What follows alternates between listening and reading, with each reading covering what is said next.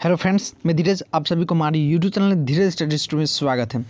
आज बिहार विद्यालय परीक्षा समिति का जो ओम आर सीट होता है, वह ओम आर सीट जो डाला हुआ अपना वेबसाइट पे तो वह सैंपल पेपर डाला है तो आपको एग्ज़ाम में वहाँ कैसा सैंपल पेपर रहेगा ओम आर सीट के माध्यम से वहाँ आपको कैसे भरना है, और उसमें क्या क्या रहेगा, कैसा ओ एम आर सीट वहाँ देखने को मिलेगा, वह चीज़ आपको बताऊँगा, ठीक है?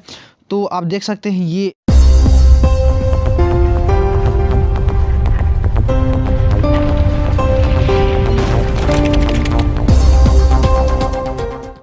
आपको बिहार विद्यालय परीक्षा समिति का है और ये दसवां और ट्वेल्थ का दोनों का सेम टू सेम रहेगा। ठीक है, ये टेंथ वाला डाला है, लेकिन टेंथ का ट्वेल्थ का दोनों एक ही रहेगा, यही रहेगा, ठीक है?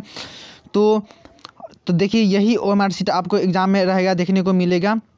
और यहाँ पर जैसे टेंथ का है तो यहाँ पर कक्षा दसवीं लिखा हुआ तो वहाँ कक्षा बारहवीं लिखा रहेगा, ठीक है? बस इतना ही। और यहाँ माध्यमिक परीक्षा लिखा हुआ तो वहाँ इंटर परीक्षा लिखा रहेगा, ठीक है? तो वहाँ पर आपको जो उत्तर पुस्तिका रहेगा तो वहाँ पर पुस्तिका कितना पेज रहेगा, ऊपर में पहला लिखा रहेगा, सभी सब्जेक्ट लिखा रहेगा, और वहाँ प्रवेश पत्र के अनुसार अपना वहाँ पर आपको इसमें फ़ोटो भी रहेगा, ठीक है? तो देखिए, वहाँ रहेगा आपको, पहला ऑप्शन रहेगा विषय को देखिए, ये ओ एम आर सीट है। ये आप देख सकते हैं, ये, यही ओ एम आर सीट है, और ये सैंपल पेपर है। तो आपको यही देखने को मिलेगा और बीच में वहाँ देख सकते हैं, यहाँ जो स्टिकर चिपकाया हुआ है, ये स्टिकर वहाँ भी चिपका रहेगा और बोले थे दो भाग में बटा रहेगा तो देखिए दो भाग में बटा हुआ है, ठीक है? तो यही दो भाग में बटा हुआ है स्टिकर और यहाँ ये एक भाग है, दूसरा ये भाग में। तो हम आपको उसमें पहले नोटिस के माध्यम से बोल दिए थे दो भाग में बटा हुआ है तो आप इसको ना मोड़ना है, ना इसको नाखून से खींचना है, ना इसमें वाइटनर लगाना है। आप देखिए किसी का एग्ज़ाम में किसी का पेंडिंग पड़ जाता है। क्यों पेंडिंग पड़ जाता है? मेन यही कारण। यदि आप इसको सही से भरते हैं ओ एम आर सीट का भी, और आपको जो उत्तर पुस्तिका का ओ एम आर सीट रहेगा भरने के लिए, उस दोनों को भी तो ये दोनों को आपको, यही दोनों को सही से भर देते हैं। ना वाइटनर यूज़ करके, ना नाखून का यूज़ करके, और एकदम मतलब कुछ गलती ना करके भरते हैं तो आपका एग्ज़ाम में मतलब कोई किसी भी तरह का, कैसा भी आप प्रश्न लिखिए, कैसे भी उसका उत्तर लिखिए तो उसका पेंडिंग होने का कोई सवाल ही नहीं उठता है, ठीक है? तो मेन इसी के कारण पेंडिंग होता है। तो आप ध्यान से देख सकते हैं ना, उसको मोड़ना है, ना कुछ करना है। आपको जैसे दिया जाएगा, वैसे ही भरना है। तो देखिए कैसे आपको भरना है। तो ये ये पहले एक साइड का इधर है और एक साइड का ये है। तो देखिए, एक साइड का इधर वाला जो है, इधर ये वाला तो ये आपको ये लगा रहेगा, आपको जो उत्तर पुस्तिका मिलेगा उसमें लगा रहेगा इधर से। तो ये तो फाड़ कर वहाँ जो कॉपी चेक करने के लिए ले जाएँगे तो ये कॉपी करके, कॉपी चेक करने के लिए इसको फाड़ कर ले लिया जाएगा और ये आपको उत्तर पुस्तिका के बीच में ही लगा रहेगा। ठीक है, पहली बात ये है। तो दूसरी और मेन बात क्या है कि आपको वहाँ विषय को लिखना है। मतलब विषय का नाम लिखना है। जैसे आपका हिंदी है तो आपको हिंदी लिखना है, ठीक है?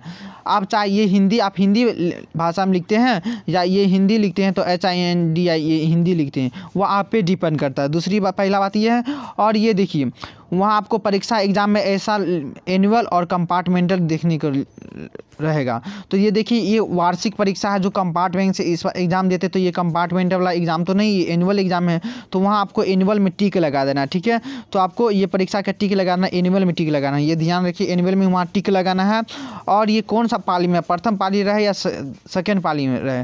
तो आप मान लीजिए प्रथम पाली में एग्ज़ाम दे रहे तो प्रथम पाली में लगाइएगा, और जो सेकेंड पाली में एग्ज़ाम दे रहे हैं, वह सेकेंड पाली का टिक लगाइएगा ठीक है? तो ये बात है।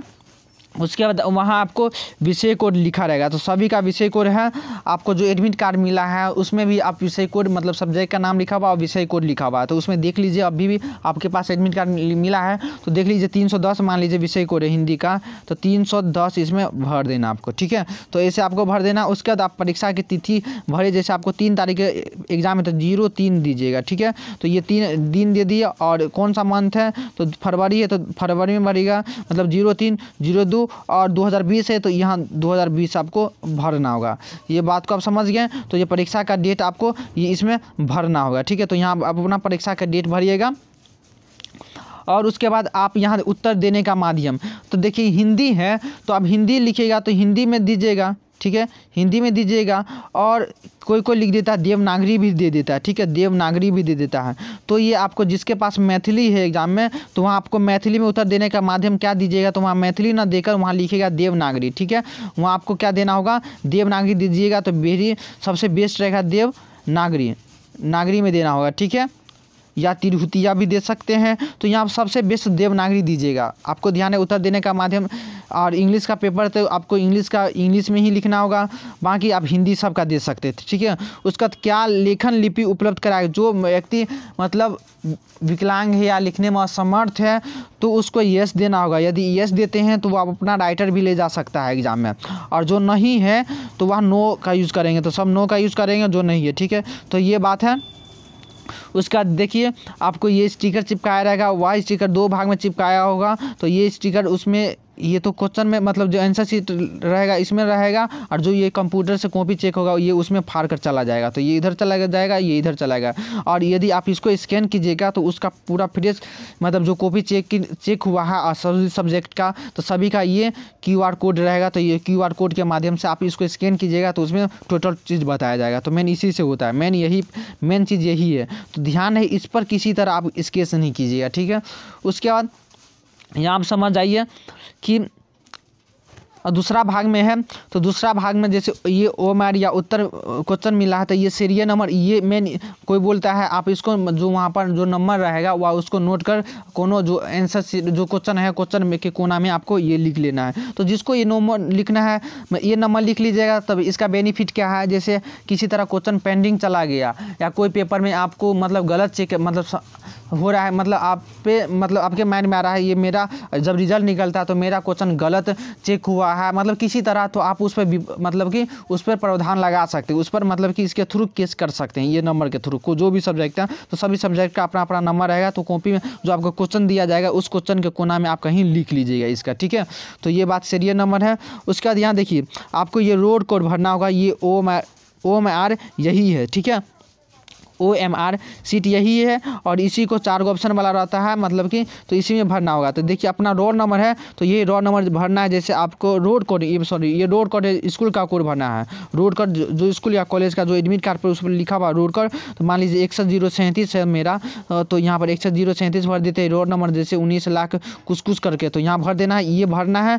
और जैसे उन्नीस, ये मान लीजिए इकसठ ज़ीरो सैंतीस है ना, इकसठ ज़ीरो सैंतीस है तो ये पाँच गो खाना है तो पाँच गो बॉक्स बना हुआ तो इकसठ तो यहाँ पर सिक्स नंबर भरना है। इसी तरह वन यहाँ इकसठ का तो ये वन है, उसका ज़ीरो ये है, इसका तीन ये है और इसका सात ये है। तो मतलब इसमें सही से भरना है। इसी तरह रोड कोड रोड नंबर भरना है, विषय कोड भरना है, ठीक है? तो विषय कोड जो सब्जेक्ट का है, आपका जो रोड नंबर है स्कूल का जो कोड है या कॉलेज का कोई भी महाविद्यालय का कोड है, उसको भर देना है। उसके बाद यहाँ पंजीयन संख्या देना, जो आपका रजिस्ट्रेशन नंबर है, उस पर रजिस्ट्रेशन नंबर भी लिखा रहेगा और पूरा रजिस्ट्रेशन नंबर भर देना है उसके बाद ओमेन के माध्यम से भी भर देना है। तो मेन यही चीज़ है और उसके बाद यहाँ देखिए, यहाँ परीक्षार्थी अपना पूरा नाम लिखेंगे, चाहे हिंदी में नाम लिखिए या कुछ भी नाम लिखिए, जैसे मेरा अपना नाम लिखता हूँ तो पूरा ध्यान है कैपिटल में लिखेगा तो सबसे बेस्ट रहेगा। ठीक है, कैपिटल में लिखिए, धीरज, जैसे मेरा नाम है तो धीरज कुमार लिख दिए और अपना विषय कोड का, विषय कोड का भी नाम लिख दीजिएगा, जैसे विषय विषय का नाम, जैसे मैथिली है। तो ठीक है तो मैथिली, मान लीजिए कोई विषय है तो ये मैथिली लिख दीजिए। उसके बाद ये शब्दों में आपका जो रॉ नंबर है तो शब्द, जैसे आपका ये रॉ नंबर है ना अनुक्रमांक तो ये आपको रॉ नंबर अपना शब्दों में दे देना है। जैसे आपके रॉ नंबर है उन्नीस, जैसे जैसे उन्नीस लाख मान लीजिए, ये उन्नीस लाख सैंतीस है, ठीक है? तो उन्नीस लाख सैंतीस है तो आपको लिखना है ओ एन ई वन उसका तो कॉमन लगाते एन आई नाइन देना है। उसका जेड ई ज़ीरो ज़ीरो मतलब ज़ीरो ज़ीरो उसका थ्री सेवन देना है, ठीक है? तो ये वर्ड में लिख देना है। ध्यान रहे, आप ये परीक्षार्थी का अपना सिग्नेचर रहेगा, ठीक है? तो ये मेन बात है। और ध्यान है कि ये इस पर स्केच नहीं आना चाहिए। आपको बार बार बोल रहे हैं और यहाँ जो वीक्षक रहेंगे, जो कॉपी चेक करने वाले रहेंगे तो वहाँ पर अपना सिग्नेचर करेंगे। आपको इस पर कुछ सिग्नेचर रहेंगे। जो कॉपी चेक करने वाले वहाँ रहेंगे, वहाँ अपना सिग्नेचर करेंगे। और जो वहाँ का केंद्राधीक्षक रहेगा, उसका वहाँ पर मोहर लगा रहेगा पहले से, या लगा देंगे, या नहीं भी लगा रहेंगे तो वह बाद में अपना मोहर लगा लेंगे और यहाँ पर अपना सिग्नेचर कर देंगे। तो ये बात है। ये बात है और ध्यान रहे ये कोड भी है इस कोड का भी कोई स्केच नहीं कीजिएगा ठीक है? और यहाँ देखिए भरने का भी दे दिया है कि आप वहाँ कैसे भरना है तो यहाँ आपको इसके माध्यम से बता दूँ हम्म, कि वहाँ भरने वाला भी रहेगा तो आपको कैसे सही वहाँ कैसे भरना है इसमें ओमन कैसे भरना सही कैसे टिक टिक लगाना है तो आप देखिए आप भरते हैं तो इसमें ऐसे मतलब टिक नहीं लगा देना है, या ऐसे नहीं भरना है, ना बीच में हल्का भरना है मतलब छोड़ देना है, या आधा किनारा में नहीं भरना है, ठीक है? और ना कुछ करना है। आपको भरना है तो पूरा ये गोल है तो पूरा सही रूप से ये ये टिक सही है। तो आपको ऐसे भरना है।